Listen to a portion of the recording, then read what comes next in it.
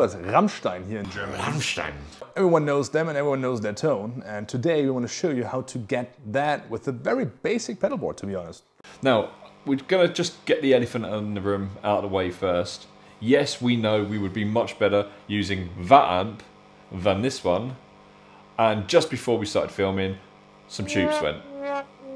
So, so now we're using a La Marshall. The MT2W is our kind of main source for the distorted tones. And if, if we think about Rammstein, we think about distorted tones, right? The clean tone is not that important. You might be tempted to zoom in, have a look at our metal zone and see, you know, where the settings are to try and copy the settings. It won't necessarily work for your settings. For instance, when we had it into the 6505, we had the settings very different. Um, we when we plugged it into here to get the same sort of Rammstein sound, we had to really change it. I would say if you do have the MT2W, you can get a good Rammstein sound with like any amp. However, you're gonna listen closely to how your amp sounds and especially you're gonna listen to the mids because the Marshall does have a lot of them. That's also why it's probably one of the famous amplifiers for lead guitar tones, also on high gain tones. However, for the rhythm section, it sounds very boxy, very quick because it does have many low mids, Rammstein, as I said, they like to use mids more than other bands do. However, it's mostly high mids. So that gives you that very aggressive but still not over presenced tone uh, in the mix, which Rammstein is kind of known for. So what we did with the MT2W on the Marshall is put in some, some higher mids, reduce the low mids, which come naturally from the amplifier, and that's the tone we've ended up with. Rammstein is also a lot about the way you play the guitar. So it's a lot about like palm muting, you know, having a good pick, having a good grip, and really digging into the chords. It's not about being very fast and very technical. It's about very, being very tight. It's you know, German metal. It's in time. Everything is at its place. You know. In the intro, we started with the auto-wah, and we used that to get your kind of cocked wah sounds. It's just about using effects for songwriting because it can create atmosphere, it can also create a build up, a breakdown, whatever you want, and that's a powerful tool to have. So in, in, that case, what I did uh, in the intro was kind of playing the same riff, but on a higher octave version.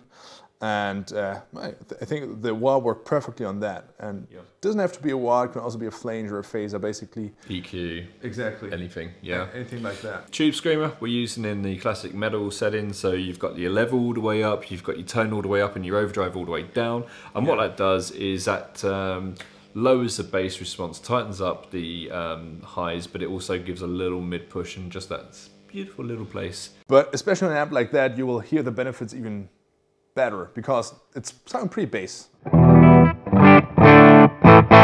Right? It's a horrible tone. yeah, much bass, but just once you activate the tube screamer without the MTW. It's crazy, isn't it?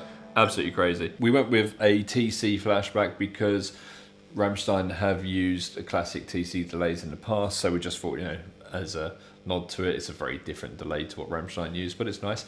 And we would be amiss if we didn't mention the cab as well, because we, the reason we didn't uh, use the Marshall cab is because that's greenback. So this has got V30s in it, and they're a much tighter response, and that's what you want for this type of music. Let's play a little bit with that rig, shouldn't we?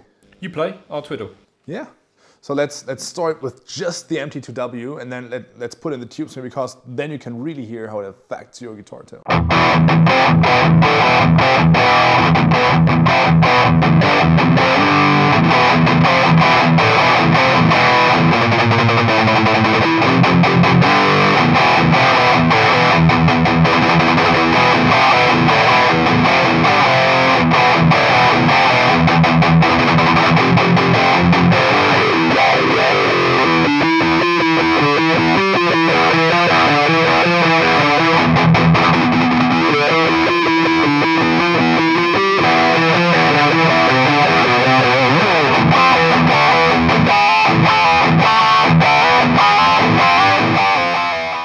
Want to test drive these pedals here, which I can certainly recommend to you, uh, without purchasing them, and I mean, the tube screamer, when I look at it, it's beaten up, so it's probably a vintage tube screamer. I don't even know how old this is, older than me. I think it's a 70? 70 something, right? Nine, I think. Exactly, so some of this stuff is very hard to get. Not for you, because you are one of the lucky human beings who now know about Tonepedia. We'll find a link now here above Lee's head, which will lead you to tonepedia.com, which is a website where you can interactively test drive all of that. It feels like you would have it in your hands. You can tweak knobs, change amp sounds, you know, guitars, playing styles, whatever.